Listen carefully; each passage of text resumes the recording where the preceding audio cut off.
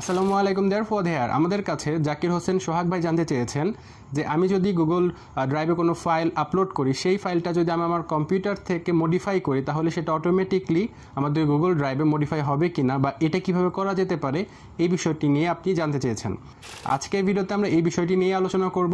আমরা দেখানোর চেষ্টা করব কীভাবে আপনি আপনার গুগল ড্রাইভকে আপনার কম্পিউটারের সাথে কানেক্ট করতে পারেন, যার ফলে আপনি যদি আপনার কম্পিউটারে কোনো ফাইল চেঞ্জ করেন বা আপলোড করেন বা মডিফাই করেন, সেটা কীভাবে গুগল ড্রাইভে অটোমেটিকলি আপডেট হয়ে যাবে বা মডিফাই হয়ে যাবে। এই বিষয়টা কীভাবে করতে হবে, এই বিষয়টা নিয়ে আজকে আলোচনা করব। তো চলুন কথা না বেরিয়ে শুরু করা যাক। কম্পিউটারের সাথে আমাদের গুগল ড্রাইভকে কানেক্ট করার জন্য আমাদের প্রথমে যেতে হবে গুগল ড্রাইভের ওয়েবসাইটে সো আমরা এখানে গুগল শুধু ড্রাইভ লিখে আমি সার্চ করছি গুগলে তো এরপর আমাদের যে এই ওয়েবসাইটটা Google dot com slash drive এই ওয়েবসাইটে হচ্ছে আমরা যাব।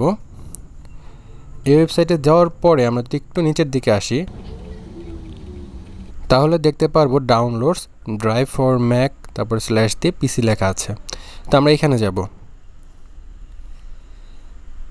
এইখানে যাওয়ার পরে আমরা এখানে দেখতে পারতেছি ব্যাকআপ অ্যান্ড সিঙ্ক লেখা আছে। তো এখান থেকে আমরা ডাউনলোড বাটনে ক্লিক করব। ফর ইন্ডিভিজুয়ালস এখান থেকে আমরা ডাউনলোড বাটনে ক্লিক করব।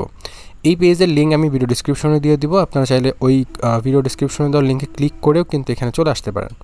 আচ্ছা তো এখানে ক্লিক করার পরে অ্যাকসেপ্ট অ্যান্ড ডাউনলোড বাটনে ক্লিক করলে আমরা দেখতে পাচ্ছি আমাদের ফাইলটা ডাউনলোড হয়ে যাবে। যদি কোনো কারণে ডাউনলোড শুরু না হয়, সেই ক্ষেত্রে আমরা ক্লিক হেয়ার টু রিট্রাই এখানে ক্লিক করব। এখানে ক্লিক করলে আমরা দেখব যে আমাদের সফটওয়্যারটা ডাউনলোড হওয়া শুরু হয়ে যাবে। আমি এখান থেকে এটাকে ওপেন করছি। আমি এখান থেকে ওপেন করলাম। আপনি চাইলে শোইন ফোল্ডার থেকে বা আপনি যেখানে ডাউনলোড করেছেন, সেই লোকেশনে গিয়েও কিন্তু আপনি রান করতে পারতেন। আচ্ছা আমি তো এখান থেকেই রান করে দিচ্ছি। দেন আমি ইয়েস দিচ্ছি। এরপর আমাদের এইটা ডাউনলোড হবে, এই সফটওয়্যারটা ডাউনলোড হবে অটোমেটিকলি এবং ইনস্টল হয়ে যাবে। সো আমরা কিছুক্ষণ ওয়েট করব। এই প্রসেসগুলো করার সময় আপনি যখন এই সফটওয়্যারটা ইনস্টল করতে যাবেন, তখন কিন্তু অবশ্যই আপনাকে নেট কানেক্টেড করতে হবে। মানে নেট কানেক্টেড থাকতে হবে।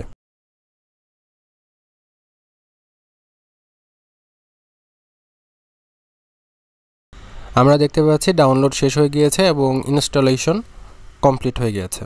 তো এখন আমরা এটাকে ক্লোজ করে দিচ্ছি। এবং আমরা দেখতে পাচ্ছি আমাদের এখানে একটা উইন্ডো ওপেন হয়েছে।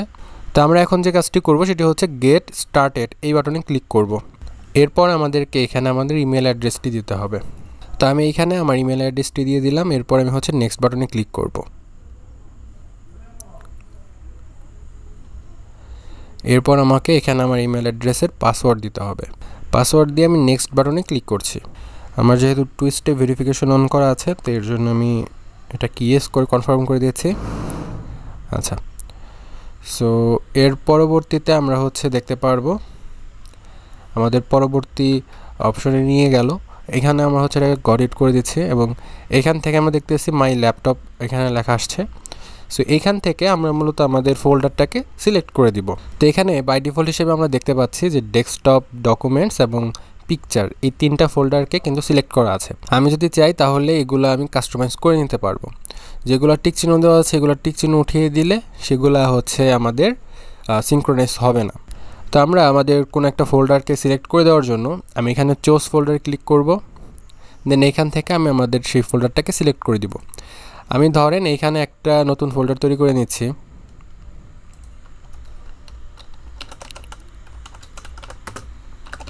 আমি সেটার নাম দিয়ে দিচ্ছি টেস্ট ফোল্ডার। এবং এইখানে আমি কিছু ডকুমেন্ট, কিছু ফাইল হচ্ছে রাখব। আমি এখান থেকে কিছু ফাইল কপি করলাম এবং এই ফোল্ডারে আমি সেই ফাইলগুলো রাখলাম। ওকে। সো আমাদের এই টেস্ট ফোল্ডার রেডি। এখান থেকে আমরা চয়েস ফোল্ডারে ক্লিক করছি, দেন ডেস্কটপ, এরপর আমাদের টেস্ট ফোল্ডারটাকে আমরা সিলেক্ট করে এখানে সিলেক্ট ফোল্ডারে ক্লিক করব। আচ্ছা। দেন আমরা এখানে দেখতে পারতেছি আমাদের সেই ফোল্ডারটা এখানে দেখাচ্ছে এবং এই ফোল্ডারের টোটাল ফাইল সাইজও আমরা এখানে দেখতে পাচ্ছি। সো আমি এটাকে সিলেক্ট করে দিলাম। তো এখান থেকে চেঞ্জ বাটনে ক্লিক করার মাধ্যমে কিন্তু আমি এখান থেকে বলে দিতে পারি backup all file and folders হবে, নাকি শুধুমাত্র ফটোস এবং ভিডিও আমি ব্যাকআপ রাখব, এই সব কিছু কিন্তু আমরা এখান থেকে বলে দিতে পারি। এবং অ্যাডভান্স সেটিং থেকে আমরা কিন্তু এখানে কোন টাইপের ফাইল এক্সটেনশনগুলো ইগনোর করতে চাচ্ছি, সেগুলো আমরা এখানে বলে দিতে পারি। ধরেন আমি চাচ্ছি যে পিএনজি ফরম্যাটের ফাইল এখানে আমি চাচ্ছি না যে অ্যাড হোক বা এই ব্যাকআপ আমি দিতে চাচ্ছি না, আমাদের গুগল ড্রাইভে সিঙ্ক্রোনাইজ হবে এরকম আমি চাচ্ছি না। তো সেই ক্ষেত্রে আমরা জাস্ট পিএনজি লিখে পিএনজি লিখে যদি অ্যাড বাটনে ক্লিক করে দেই, তাহলে এই পিএনজি ফরম্যাটের ফাইলগুলা ইগনোর হবে। সেগুলা গুগল ড্রাইভে আপলোড হবে না কম্পিউটার থেকে। সো এরকম করে আপনি যদি চান যে কোনো এক ফাইল কোনো এক ফরম্যাটের ফাইলগুলা বা কোনো এক টাইপের ফাইলগুলো আপনি চাচ্ছেন না যে সিঙ্ক্রোনাইজ হোক, সেগুলো আপনি এখানে বলে দিতে পারেন।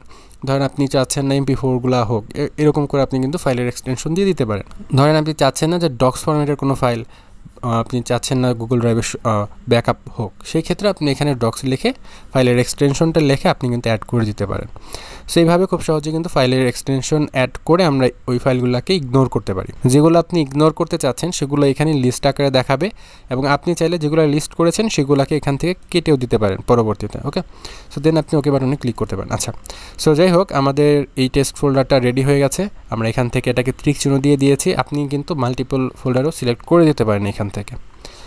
এর পরবর্তী যে অপশনটা আমরা দেখতে পাচ্ছি photo and video upload size তো এইখান থেকে আমরা যদি অরিজিনাল যে কোয়ালিটি আছে, সেই কোয়ালিটি টিক চিহ্ন দিয়ে রাখি, তাহলে আমাদের যে যতটুকু ফ্রি স্পেস আমরা পেয়েছি, শুধুমাত্র অতটুকুই কিন্তু আমরা আপলোড করতে পারব এবং আমাকে এখানে কিন্তু দেখাচ্ছে আমার কত জিবি ফ্রি আছে। আর যদি আমি হাই কোয়ালিটি এই, এখানে টিক চিহ্ন দিয়ে দেই, তাহলে আমরা আনলিমিটেড স্টোরেজ পাবো। তো সেই ক্ষেত্রে আমাদের ফটোর যে অরিজিনাল কোয়ালিটি আছে, সেটা একটু রিডিউস হয়ে যাবে। সো এখানে আমাদের, আমাকে দেখাচ্ছে যে আমার সাত দশমিক পাঁচ জিবি ফাঁকা আছে, তো আমি সেই সাত দশমিক পাঁচ জিবি পর্যন্তই কিন্তু আমি আমার গুগল ড্রাইভে ইউজ করতে পারব। কিন্তু আমি যদি এটা দিয়ে দিই হাই কোয়ালিটি দিয়ে দিই, তাহলে আমাদের কিন্তু আনলিমিটেড আমি স্টোরেজ পাবো। সো আপনি চাইলে এটা কিন্তু ইউজ করতে পারেন।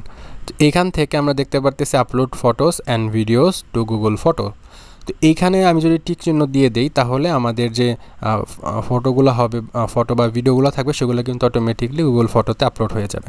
আচ্ছা তো আমি এটা এখান থেকে টিক চিহ্নটা উঠিয়ে আমি নেক্সট বাটনে ক্লিক করছি। এইখানে আমি দেখতে পাচ্ছি আমার গুগল ড্রাইভের যে ফোল্ডারগুলো আছে বা ফাইলগুলো আছে, সেগুলো যদি আমার কম্পিউটার আমি সিঙ্ক্রোনাইজ করতে চাই, সেটা কোন ফোল্ডারে বা কোন লোকেশনে হবে সেটা আমাকে এখানে বলতেছে। সো আমি চাইলে এখান থেকে কিন্তু যদি আমি এই sync my drive to come this computer এটা টিকশন উঠিয়ে দিই, তাহলে আমার গুগল ড্রাইভের যতগুলো ফাইল আছে বা ফোল্ডার আছে, সেগুলো আমার কম্পিউটারে বা আমার ল্যাপটপে দেখাবে না।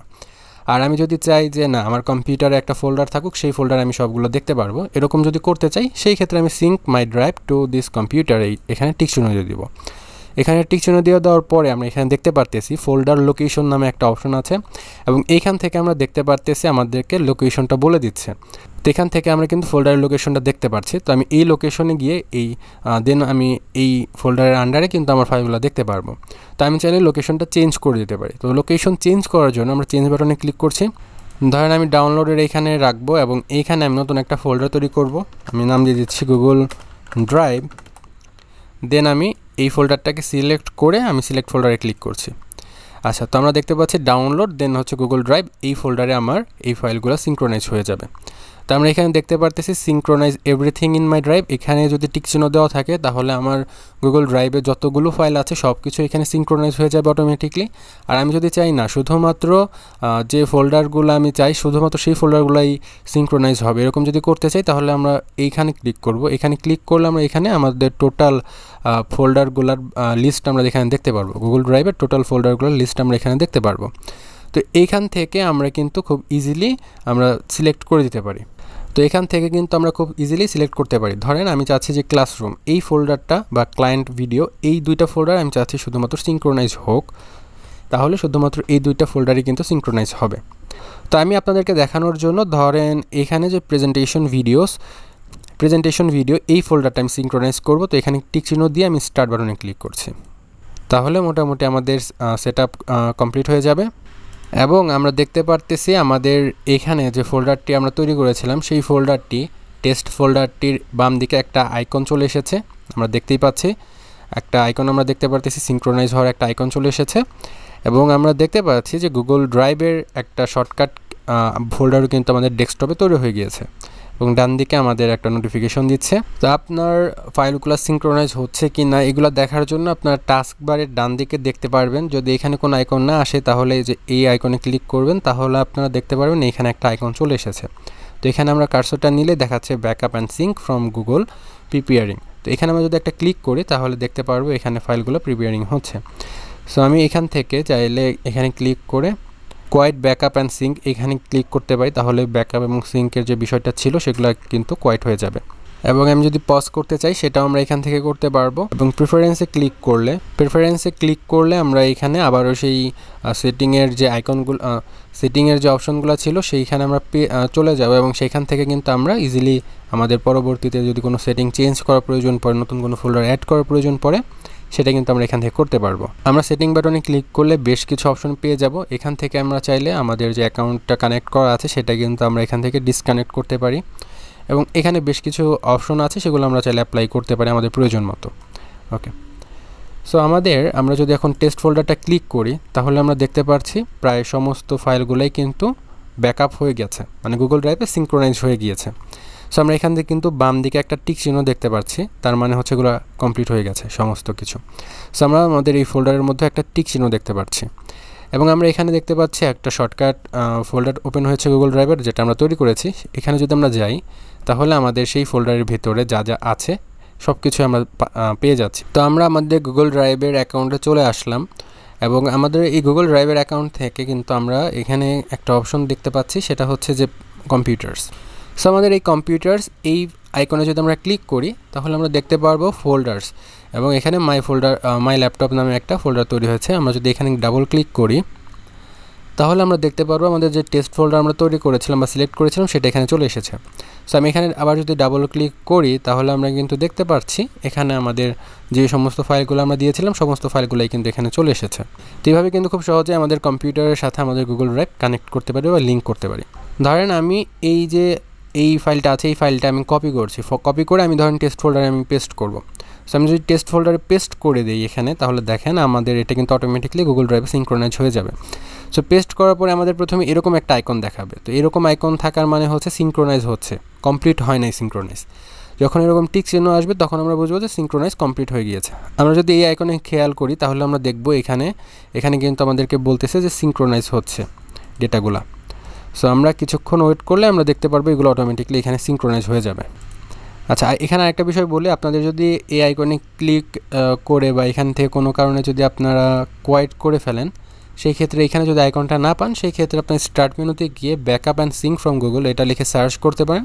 অথবা আপনার যে অল ফাইলগুলো আছে আই মিন অল যে অ্যাপসগুলো আছে, সেখান থেকেও কিন্তু আপনি এই সফটওয়্যারটা পেয়ে যেতে পারেন। তো এই, এইটাতে ক্লিক করে যদি দেন, তাহলে কিন্তু আবারও এটা ওপেন হয়ে যাবে। আচ্ছা আমি এখন একটা জিনিস দেখাই আপনাদেরকে। সেটা হচ্ছে আমরা এই যে ফোল্ডারটা আছে এই যে ফাইলটা আছে, এই ফাইলটা আমরা এই ফোল্ডারে আমরা পেস্ট করব এবং আপনাদেরকে দেখাবো যে এখানে অটোমেটিকলি সিঙ্ক্রোনাইজ হয়ে যাবে। সো আমি এটাকে কপি করে নিচ্ছি প্রথমে দেন আমি এই ফোল্ডারটা ওপেন করে নিচ্ছি এবং এখানে আমি পেস্ট করে দিচ্ছি। এখানে পেস্ট করে দেওয়ার পর আমরা এখানে একটা আইকন দেখতে পাচ্ছি সিঙ্ক্রোনাইজ হওয়ার একটা আইকন চলে এসেছে। তো আমরা কিছুক্ষণ ওয়েট করব।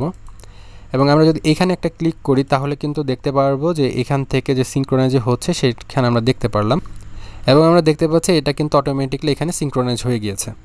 ওকে সো আমি যদি এটাকে ডিলিট করে দিই আমাদের কম্পিউটার থেকে, তাহলে আমরা দেখতে পারব কম্পিউটার থেকে এটা ডিলিট হয়ে যাবে, কিন্তু এইখানে আমরা দেখতে পাচ্ছি ডিলিট হয় নাই। গুগল ড্রাইভ থেকে ডিলিট হয় নাই। তো এই ক্ষেত্রে আমরা যদি এই আইকনে আবার ক্লিক করি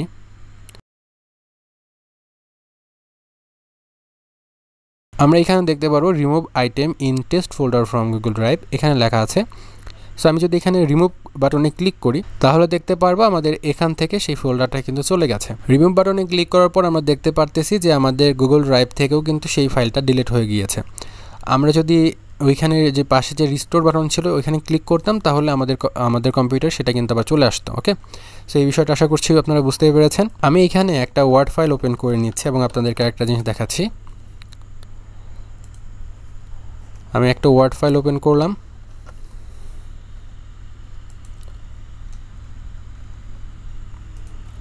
এবং এখানে আমি দিস ইজ পর্যন্ত লেখে আমি সেভ করছি ফাইলটা ফাইলটা আমি সেভ করব হচ্ছে আমাদের যে টেস্ট ফোল্ডার আছে সেই ফোল্ডারের মধ্যে। সো আমাদের টেস্ট ফোল্ডারের মধ্যে আমরা আমাদের ফাইলটাকে সেভ করে দিচ্ছি। আমরা দেখতে পারতেছি আমাদের টেস্ট ফোল্ডারে এখানে সিঙ্ক্রোনাইজ হচ্ছে। এবং আমরা যদি এখানে ক্লিক করি তাহলে দেখতে পারব এটা সিঙ্ক্রোনাইজ হচ্ছে আপলোড হচ্ছে আমাদের গুগল ড্রাইভের মধ্যে। আচ্ছা আপলোড হয়ে গিয়েছে এবং গুগল ড্রাইভের মধ্যে কিন্তু এটা চলে এসেছে। সো আমি যদি এখানে এখন ক্লিক করি, তাহলে দেখতেছি দিস ইস পর্যন্তই কিন্তু চলে এসেছে। সো আমি যদি ধরেন এখানে বাকিটাও লিখি আই মিন একটু এডিট করি এই ফাইলটা ধরেন আমি এখানে আমার নাম লিখে দিচ্ছি।